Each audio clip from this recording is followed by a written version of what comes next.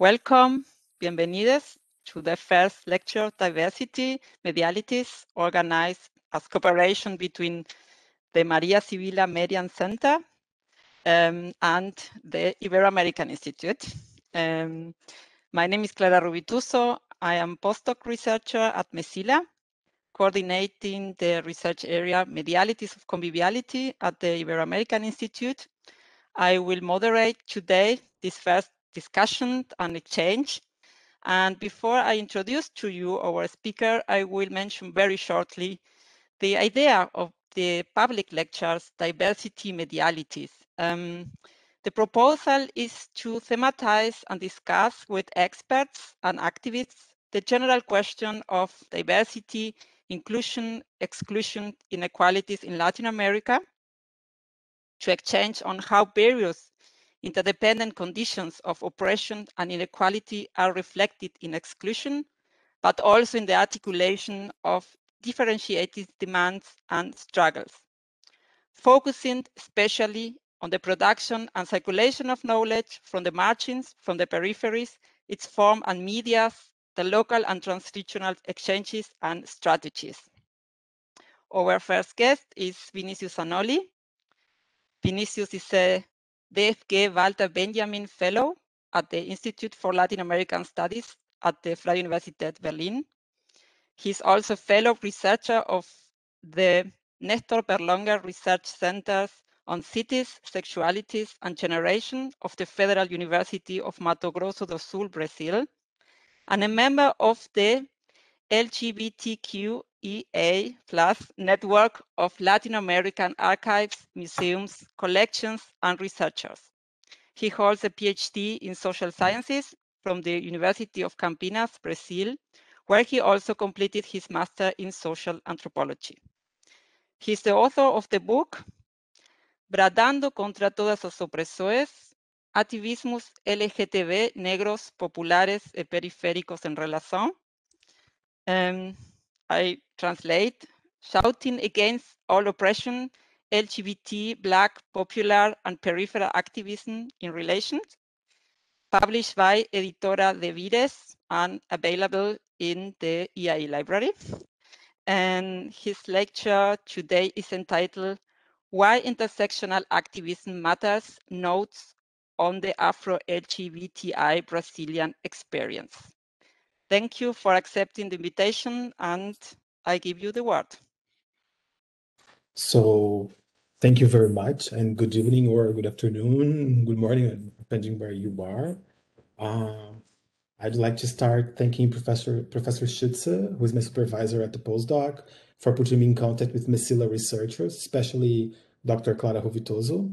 Clara for inviting me inviting me to do this presentation uh, Mecila and the Ibero-Americanistas Institute for having me, and of course, everyone who's here watching us.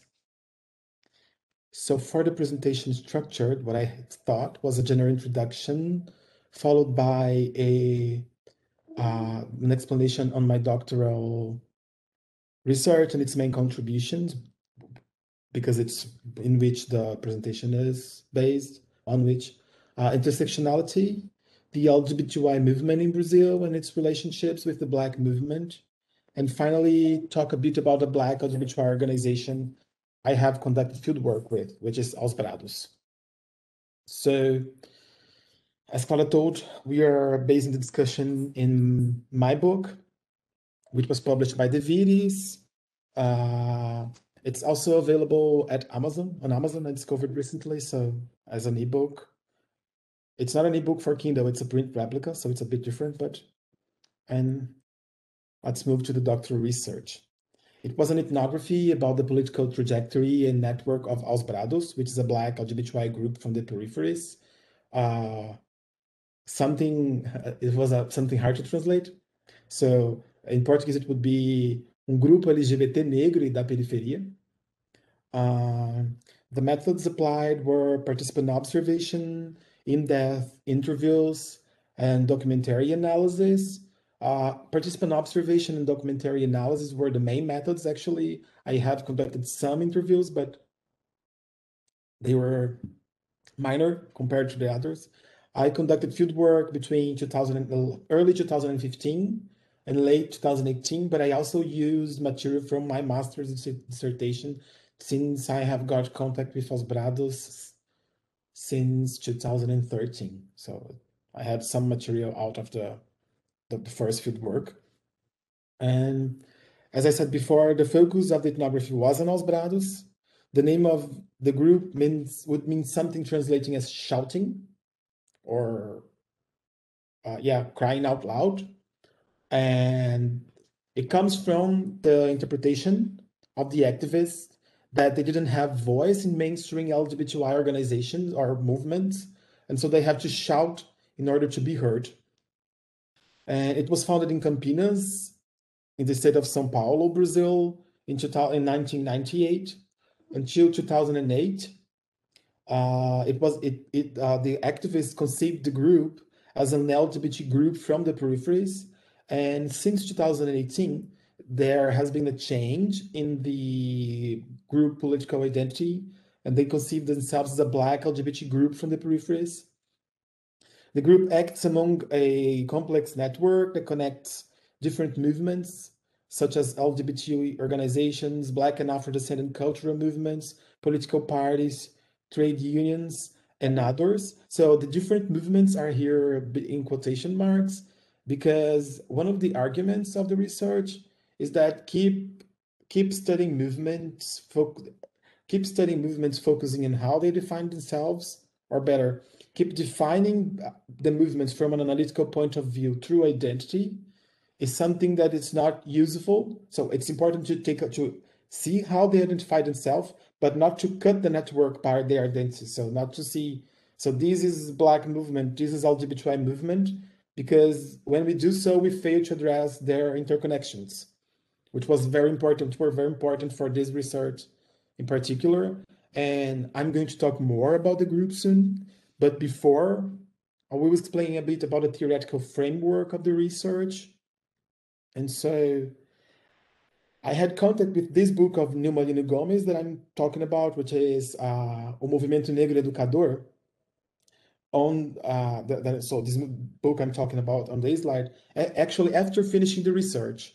However, in later publications such as articles, I have incorporated it because it really helps to analyze what I was dealing with while doing the research. And it's also so it also something that links what I've done with the um, bigger picture of this area of Mecila, because uh, Nilma Lino Gomes proposes that social movements produce knowledge, that Black movement produces knowledge. She's doing the, the book on Black movement, but she's proposing it's not only the Black movement that does that.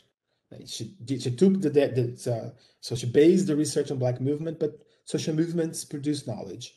And on the same manner, social movement theory or studies have emphasized that move, movements produce meaning through what they call framing processes, which would uh, would be something that so this meaning they produce has a, has as central objective to explain what or who they are fighting for and against, but also what are the claims, their claims, and etc. So Inspired by Gomes, we can say that when doing so, when producing meaning, they are also producing knowledge, since to explain their demands, they need to call the attention to social problems they face and the people they represent face, and in doing so, they are producing, they are producing knowledge on their own situation or the situation of the people they are fighting they are fighting for or against. Like they not they do that like in a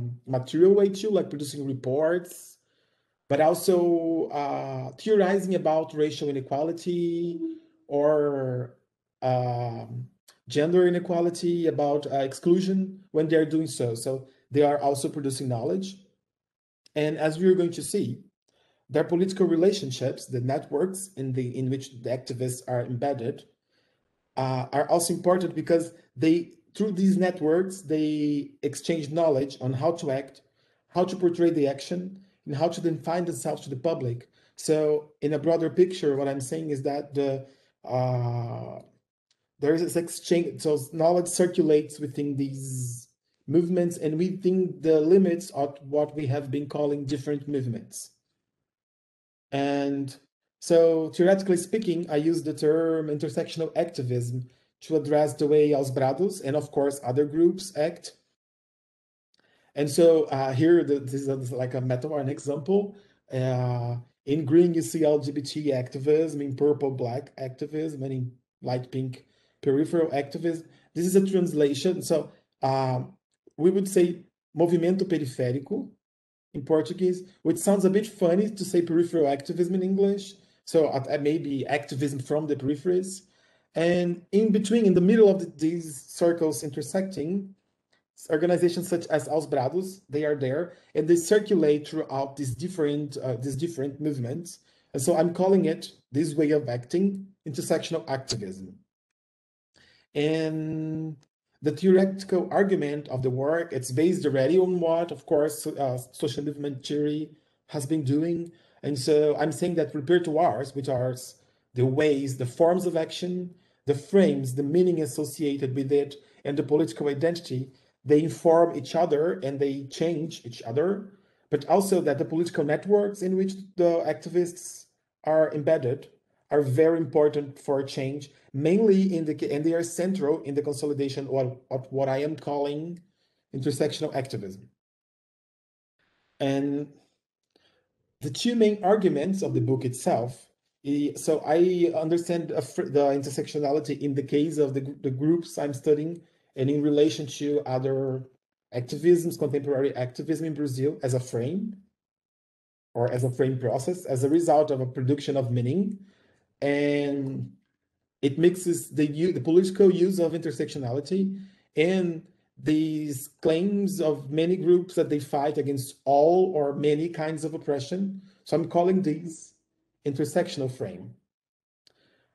And uh, since it has gone beyond the limits of Black feminism, what I'm saying with that is I'm saying there are other movements using this idea. I'm I argue that this is a master frame. So in the frame perspective, a master frame is a frame that would go beyond the limits of one movement. Well, we are already problematizing the idea of these limits are not that rigid as the literature may may may represent them. But so it's a master frame. These are the main arguments. And since we're talking about intersectional activism, it's important to discuss a bit what it is, what intersectionality is. So it's a notion coined by Kimberlé Crenshaw, who is a lawyer, a professor of law, civil rights, and critical race theory. She's a civil rights activist and feminist in the US. She coined the notion to explain and analyze the reality of Black women particularly in the United States. And these notions, so although she was the first one to coin it and uh, name it that, it stems from Black feminist and Black women movements, practices, and knowledge in the United States. And that's very important because so even the uh, there have been discussions inside uh, academic debates on intersectionality that the academic approach are just one face of it and intersectionality is also political. And it it was a project that was always uh, that always comprised uh, knowledge and practice or uh, praxis. And so and so the intersectional approach can be described to the metaphor of the intersection. Uh, here I put uh, sexuality, race, class, gender, I put sexuality here, but in the original Crenshaw's proposition, the main intersections would be race, class, and gender. However, according to some intersectional approaches, many systems of oppression and or many markers of difference, there are differences on how they, they address this, they can intersect in someone's life or reality, or in a group's life or reality. And so as we've seen there are many approaches to intersectionality and different approaches to intersectionality.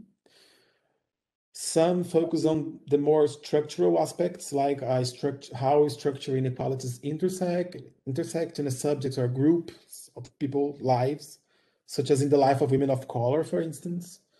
Or some others focus on the constitution of subjectivities or identities.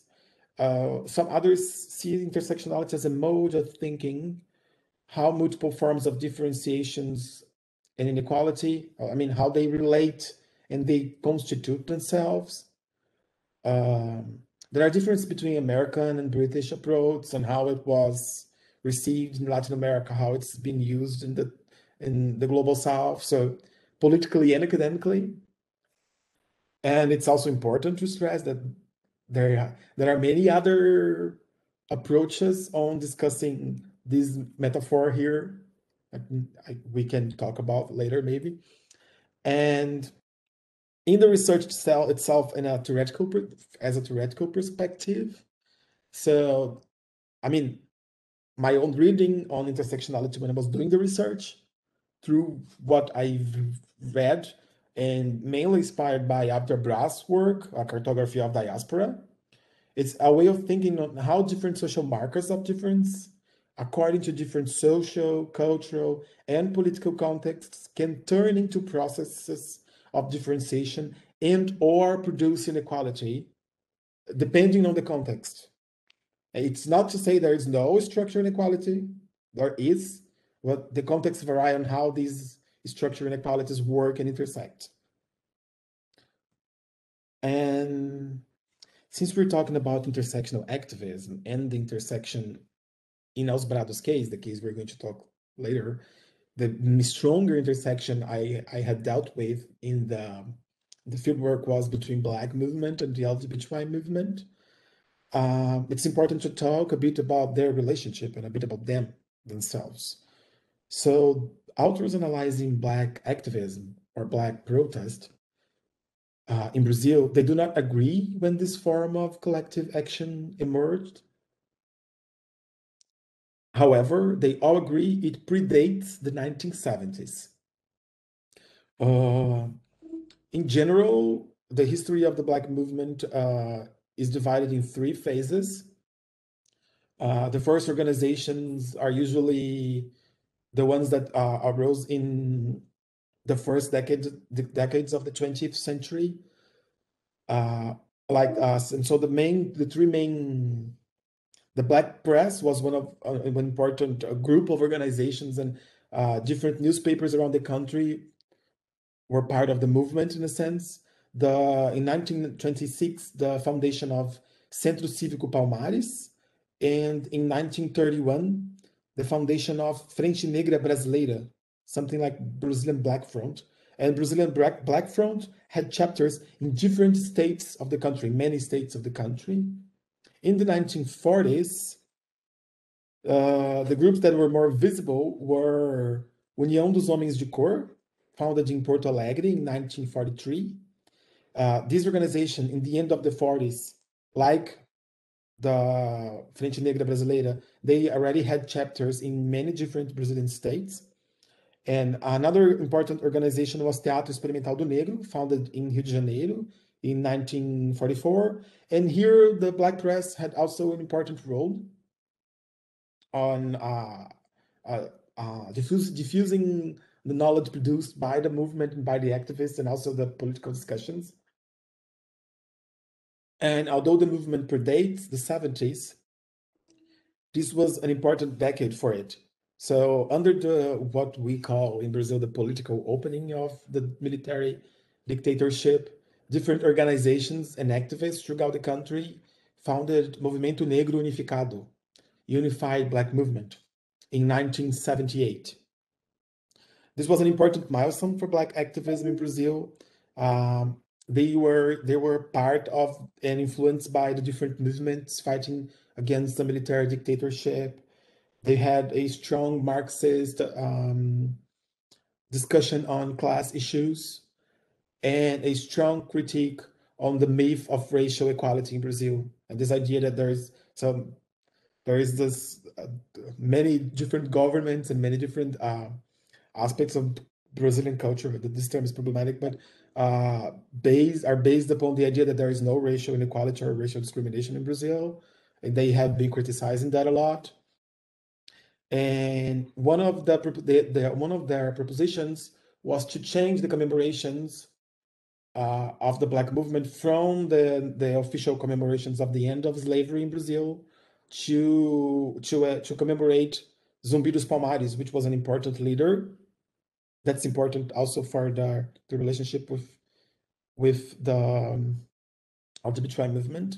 We're going to talk about that in a bit, but that's very important because these they they they go against and they and they very fairly to that myth that um, that there was no fight from black people themselves to end slavery and so they have been they focus on the fight not the the the way the, the state would have done it and and so in what concerns the lgbt movement most scholars tend to argue that it was formed in brazil in 1978 they highlight the creation of the newspaper lampião da esquina and the foundation of Grupo Somos of, Grupo Somos of São Paulo uh, as milestones of the movement's foundation. These, uh, the newspaper and, and Somos and the other organizations that arose after Somos were very uh, linked.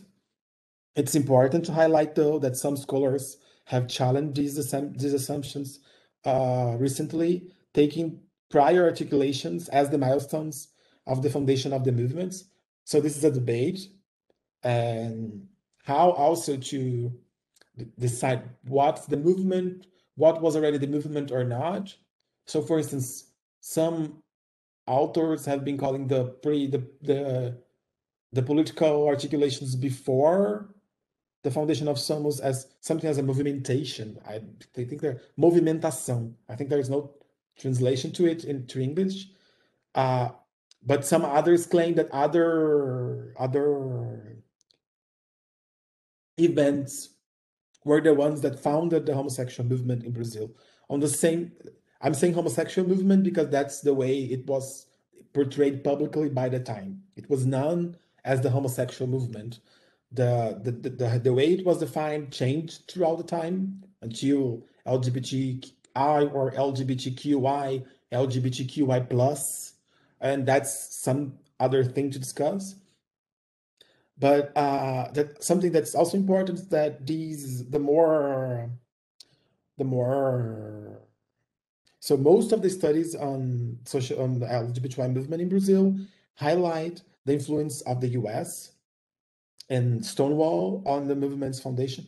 But of course, they were already doing that, and right now that more source sources are available, and that there has been more interesting interest from history on LGBTI movement, they, they, they are also showing how the movement in Brazil was influenced by other uh, gay and lesbian mobilizations, both in Europe and Latin America, as well as other countries in the global south.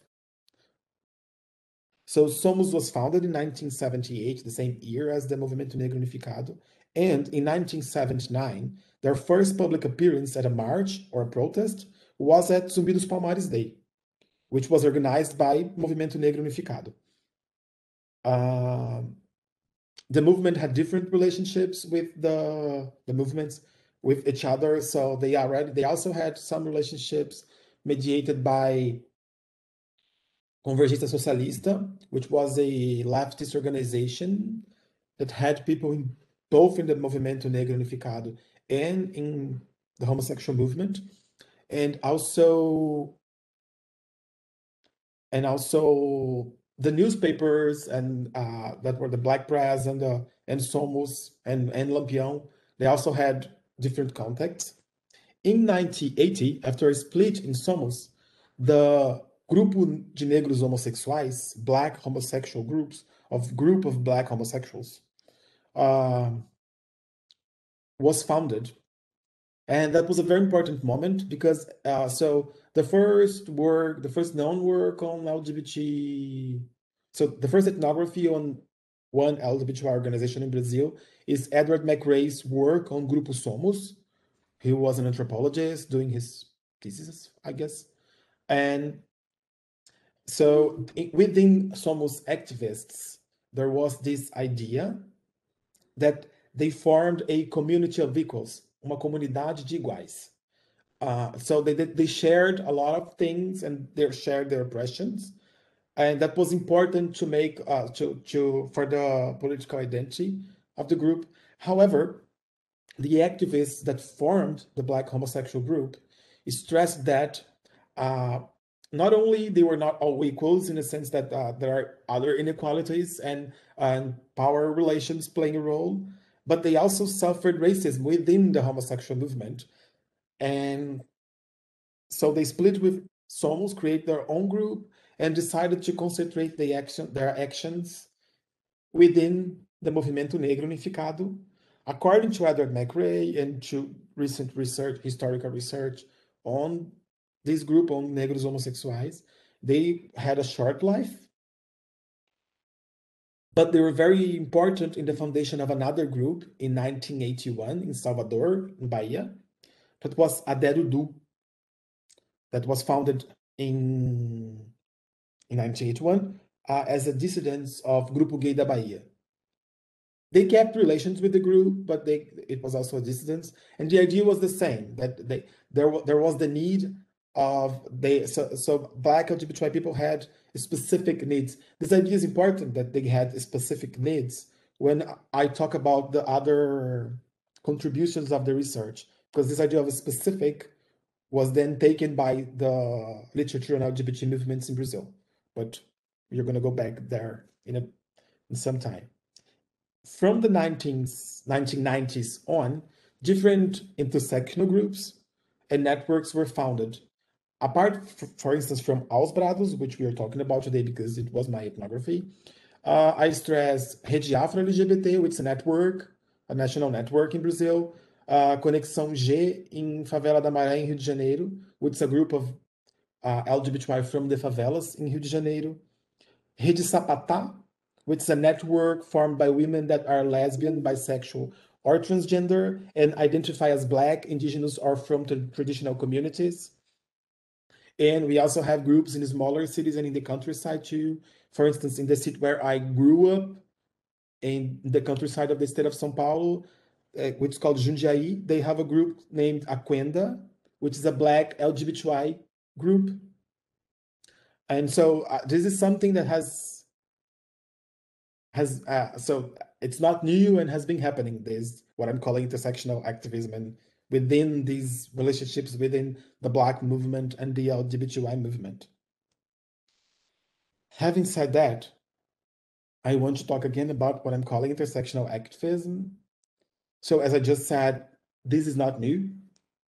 Uh, however, when I started doing the thesis, it was not very discussed by the literature. Um, most works would talk about uh, these intersectional groups when they were talking uh, on the broader pictures about LGBTI activism without addressing them individually or as a, as a group. They were they would also do it. Uh, so most of the works on LGBTI movement in Brazil that's been changing now has been done by anthropologists. I'm an anthropologist myself, and we tend sometimes to borrow categories from from our interlocutors. And so, as I was telling before, this idea that the, the activists had specific needs has made some anthropologists and some people uh, studying LGBTI movement to call these movements Black LGBTI organizations, peripheral LGBTI organizations, Black lesbian women organizations as specific groups, or to look at their creation as processes of specification. So they understand, uh, so the, what they are calling processes of specification would be a result of uh, the fight for funding and, and the adequacy to state language, which was influenced by the adoption of the of the of the the oh I forgot the word sorry uh, the adoption of the Durban uh, policies based on the Durban Conference Against Racism. And so to, adapt, uh, uh, to adequate themselves in a language that would talk about intersectionality, uh, and also to, sh to show to the to the funding bodies and the, to the government, which was the main funding body of the LGBT movement in Brazil before the crisis, the, the political crisis Brazil has gone through after the that culminated in the impeachment of Dilma Rousseff and then the election of the actual president, which I will not name right now. Uh, the, the, the action of the, the, the contemporary president. president. Um, after the, uh, before this crisis, they had to fight for funding, and this idea that they had to prove they were doing something specific, and so to be more more competitive than the others. Although I'm not saying this is wrong, I'm saying this does not uh, explain everything. So so first because there were groups before the these right before the Durban conference. Second, before because the Black movement itself has strong role, mainly Black feminists and Afro descendant women's movements in Brazil on applying what was what has been decided in, in Durban in being impressing. They also had a strong role in pressing the government on applying the Durban. I forgot the word for that, sorry, the decisions of the Durban conference. And so I'm saying that this explained part of it, but what I saw in the field and reading other people doing the work uh, with what I'm calling intersectional activism while I was doing is that the relationships and exchanges among social movements were also central in the consolidation of their intersectional activism, in creating them on the on the one hand, and on on uh, on on making it possible. And having said all that i'll start to talk about my field work and it happened in campinas. So you're seeing here a map. In the bottom left corner you're seeing a map of brazil in red you see the state of são paulo and in the bigger map you see campinas in red in the state of são paulo so Campinas is in the southeast of the country. It's the center of a metropolitan region. It's the third, so it's uh, it has more than one million inhabitants. It's the third biggest city in São Paulo in the 20th in Brazil. And it's the house of important organizations of the LGBTI movement with links to national and transnational organizations. And so as I was telling you before, and now I'm going to talk about the centrality of cross-movement relationships, re relationships in intersectional activism. To, to, do so, I will talk a bit about the political trajectory, tra tra tra sorry, trajectory of Lucia Castro, who was the, the founder of Aos Brados and who is up until today one of the few members that have been in the group since the beginning. So the group has more than 20 years of existence. And her personal trajectory is important because it's very so, so the trajectory of the group is very linked to her personal trajectory. So she was expelled from home for being a lesbian while she was still young and then she moved to a peripheral neighborhood to the outskirts and there she got in contact with peripheral movements housing movements homeless movements community organizations and from these movements, she met she, people in the Workers' Party, the PT, Partido dos Trabalhadores. From the PT, she had contact with people in Expressão, which was the first LGBT organization of Campinas, founded in 1995. From the uh, Popular Movement Central, CMP, CMP, Central dos Movimentos Populares, and CUT, which is the uh, Trade Union Central, Central Única dos Trabalhadores. But it's a trade it's a trade union umbrella organization. And it made her so she was part she was part of the first group that left Expressão to find to found the second LGBTI group of Campinas, which was Identidade. But in the same year, she was part of the foundation of Identidade. She and some friends decided to to found Aos Brados. So uh, here you see uh, the, the, the cover of the newspaper. I'll, I'll talk about that a, soon. So it was founded in 1998, Aos Brados, as a dissident of Identidade, the second LGBT group of Campinas. And one of the main, so they explained that they need that they are their experience their experience was very different from the experience of white uh, although race was not a, a, marker of difference in their political identity yet. They were didn't consider themselves black LGBTI from the peripheries. They were LGBTI from the peripheries the, the, the fact that, that gay white men or gay white lgbty people but mainly gay and lesbians they they had very different experiences compared to people in the peripheries. So, for instance, uh, Identidade already used email lists to keep contact with different activist networks within Brazil and outside Brazil. And one of the main critiques on that is that these focus could get them so they were not um, communicating with the periphery because it was not easy nor cheap to get access to the internet in Brazil in 1998. And if you lived in the outskirts, if you were not middle, upper middle class or middle class, it was much harder, which was the case of man, man, many members of Aos Brados. And so they decided to create a newspaper to communicate with the periphery. And shortly, part of this group that was part of Identidade and that lived mainly in the periphery, they decided to leave Identidade and focus only on the newspaper. They were offered a room to, to, to work on the Central Única dos Trabalhadores, uh, which they share with a sexual workers organization. They're a sexual workers union, actually. And and then they started just to publish the journal for a while, the newspaper. But according to them, influenced by their relationships with the trade unions and with the with the PT. So Lucia is is a is an affiliated member of the party, and at by then, by uh, some years after that, in two thousand and two, yes, the PT was oh, start so was also in the presidency, right? So influenced by all this political climate, they decided to institutionalize uh, to become an uh, to become an official institution.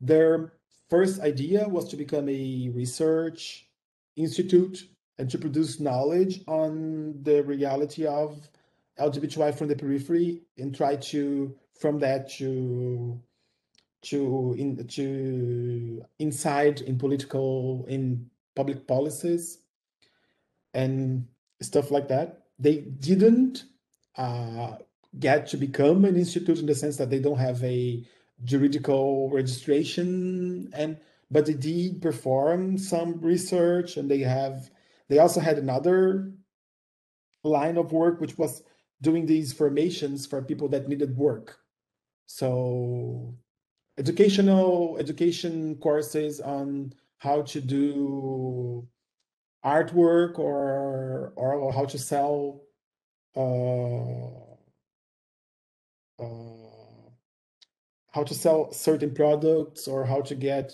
how to how to prepare your CV to enhance the possibilities of uh, LGBTI from the peripheries to get a job. And, but apart from that, their main, their real main actions, public actions, were what they called social actions. There were two, Brados Papo, and citizenship, visibility, citizenship and visibility. Uh, that Brados Papo, uh, so Brados comes from the name of the group, Brados. Papo is something as chatting, like talking to someone. And the idea, so they define it, they, they, they themselves define it as talks to demystify homosexuality in a sense that they would be invited by LGBTI people in different peripheral communities of the metropolitan region of Campinas. It's not just the city, but the, the other cities that are in the outskirts as well. To give talks, to explain that it was, to explain what it is to be, what is homosexuality, and to discuss LGBTI rights. And that was one thing, one of the, the, the the projects. The other was these free haircuts and sometimes also uh, talks on HIV prevention. These free haircuts and talks on HIV prevention were given by mainly by uh, transgender women and gay men who worked as hairdressers. And the idea here was that by showing to poor communities that the people that lived there could help them, they could fight homophobia and transphobia within these, these communities. So connecting LGBTI people with them. And so this is the first, what I call the first phase of the group, which went up until 2008, more or less. And as we can see, it was strongly influenced by uh, the leftist organizations they had contact with and the trade unions. And from 2008, first Lucia, the leader, but also other members, they started to get contact with what they call, my interlocutors call the cultural black movement, which are organizations that work on the safeguard and on the promotion of Afro-descendant, Afro-Brazilian and Black culture and tradition. And from that, they understood that uh, before that, according to interviews, they thought that saying that, that they were from the peripheries would explain that they were also fighting against racism. However, they understood that it was very important to stress that they were also fighting against racism. And so to emphasize, because most of the activists of the group were, were Black people, that they were a Black LGBTQI group from the peripheries. And with these change in identity and these new relationships, we also had changes in how they act. They still, they went on doing something alike the cultural, the social activities, of course, but they also started to do, and they were their main activities were what they, they themselves called cultural activities that we are going to talk now. So most of the cultural activities comes from the idea that there is a lack of representation of Black and LGBTI people from the peripheries, both in cultural events from the LGBTI movement and the Black uh, movement or the Afro-descendant cultural movements in the city. And so, for instance, one of the things that uh, Aos Brados was part of the Pride Parade committee of the city, and they one of the things that they highlighted during the I was doing fieldwork there too in the Pride Parade was the need for more black and periphery artists on the stages of the the events that compose the uh, sexual diversity month would be the translation of the this month where many activities are organized with, within the city by the pride parade committee and but also on on the other hand that other the uh, black groups should have LGBT artists doing black culture culture, and so these activities are mainly they have mainly music, dance, and drag queen performances. They usually invite LGBT artists, not necessarily black LGBT from the peripheries, but mainly black LGBT artists. So there are also white LGBT artists, for instance, it can happen. Uh, feminist artists, um, the music and the dance and the performances they they turn around they go around rap hip hop samba but also brazilian popular music songs linked to umbanda and candomblé which are brazilian afro afro-brazilian religions and also tributes to black brazilian female singers and it's interesting because in a way their activities are very similar to the activities that both the Black cultural movement, but also the peripheral cultural movements are organizing in the city. So, for instance, there is a one of their main their main uh, interlocutors, their main partners is Comunidade de Jongo, Dito Ribeiro, which is a Black traditional community in the city. In the city, um, that coordinates the ref of Sudeste of Southeast Jongo of Southeast Reference Center. and they also organize a lot of cultural activities.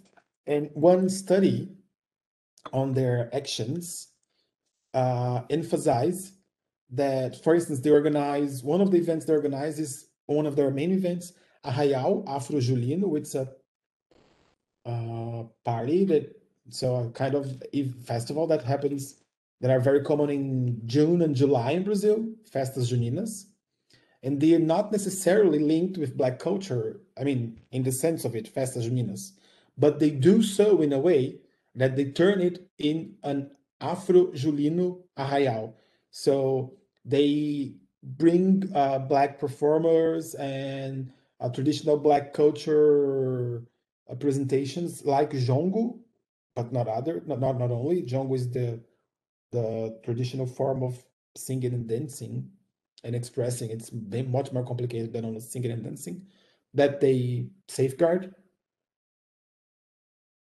And they turn it in, into afro. And so that's the same idea with Aos activities.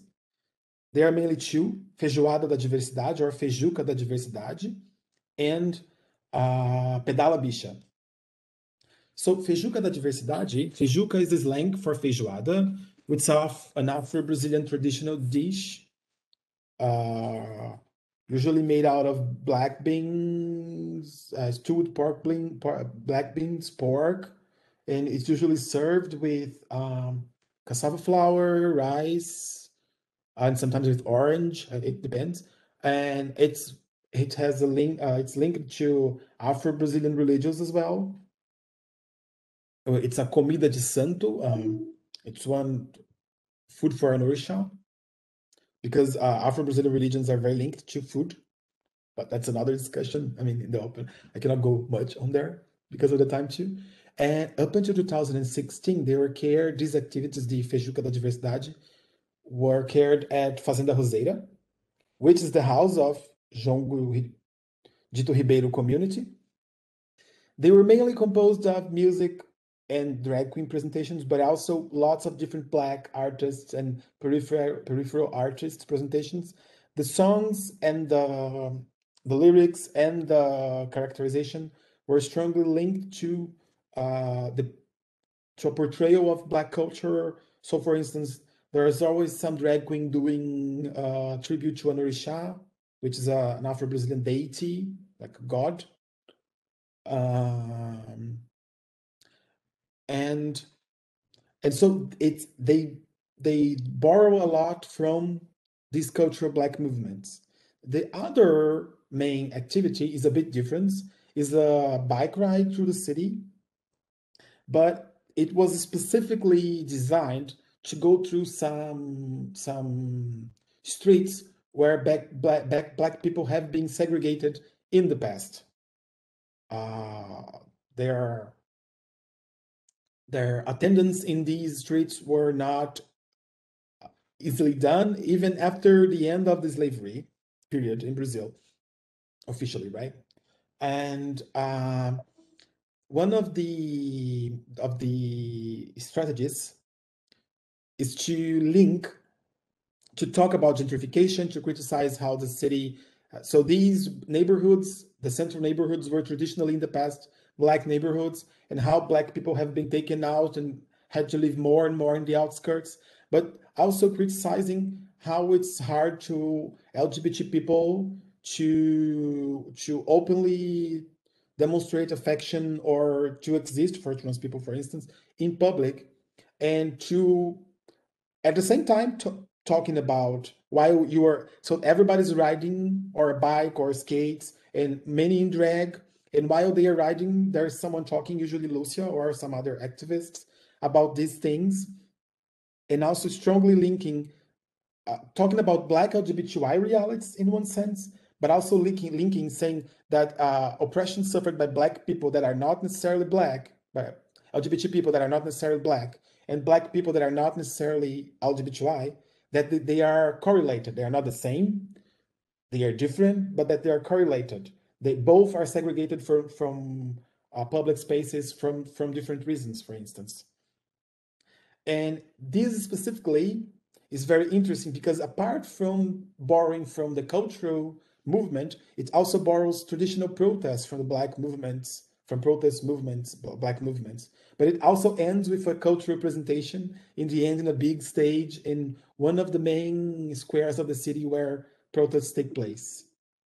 And so to finish it, it's also important to say that there is mutual influences between the movements, right? So I'm putting Aos Brados here, but see as LGBTI movements. So local Black collectives have been inviting Aos Brados activists to give drag queen workshops or inviting artists to perform in other Black collective events.